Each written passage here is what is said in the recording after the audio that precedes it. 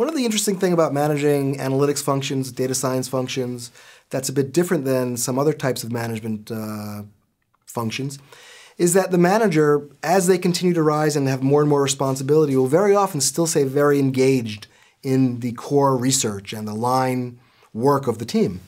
It would be unusual, uh, for example, at a large bank for a very senior manager to still be evaluating loan applications. But in effect, what a data science team leader or any sort of analytics function team leader will often do, very often do, is continue to do research and continue to do the very work that they started doing when they first started their work in data science. And that requires a bit of a different environment um, for a team, I think, uh, in a data science type function. One of the things that I think is important in that respect is that the team environment be one in which um, colleagues feel very free to exchange ideas.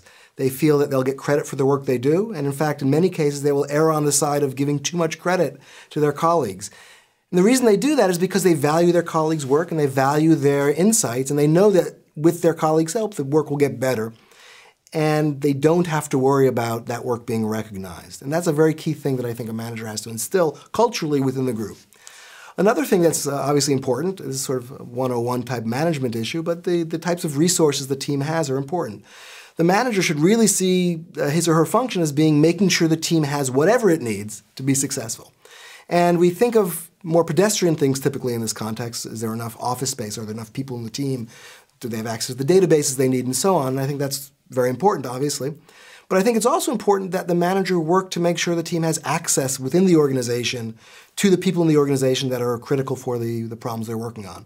This could be people that understand the problems well or that will be ending up making decisions about how to deploy the, the research or something to that effect. It could also be people outside, say academics that have done key research. Uh, it can be very important to have an academic uh, channel through which you can test out ideas and also import other ideas. Finally, I think that the, uh, the good research manager will work very hard to stay out of the way. And that sounds contradictory given the point I made earlier about getting your hands dirty. But I think those are two sides of the same coin. I think the manager will continue to do the work, but they'll do it in a very strategic way that's helpful to their colleagues in the same way that any other member of the team will, sometimes leading research, sometimes helping out. But it'll be very important that the colleagues who are in charge of a specific research problem be given the freedom to solve that problem in the way they think is the appropriate way.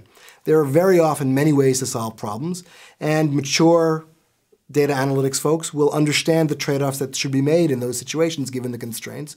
And as long as those constraints are met and uh, the trade offs are made in a way that's organizationally acceptable, they should kind of be allowed to pursue the research in the way they think it should go, with the, the, the leader of the team providing a bit of oversight or maybe steering it from time to time, but largely staying out of the way.